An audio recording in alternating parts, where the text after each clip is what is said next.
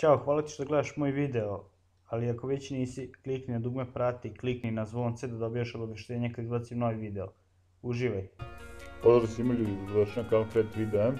Danas ću da vam pokažem kako skidati sa piratskih sajtova, program, igrici ili bilo što drugo. Kada otvorite ovaj sajt koji će ostaviti u deskripciji, u Pirat Search kucate šta želite da skidate. Naprimjer GTA San Andreas ili šta god.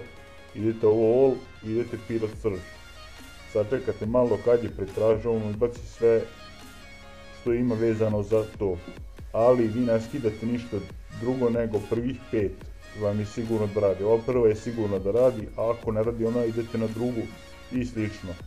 Kada ste kliknuli ili ušli i odabrali šta želite da skinete, idete get this torrent. Ako slučajno nemate na šta da skidate, pošto morate imati torrent klijent, skinite ili torrent, kliknete ovdje i ono se automatski prebaci da skinete BitLoart ili skinete vuze ili torrent za bilo šta, samo da može skida.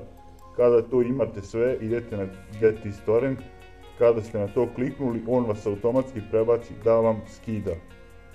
Kao i meni sad što je trenutno skida. I sačekate malo, sve zavisi od interneta, ako je internet dobro snimit brzo, ako nije malo ćete čekati.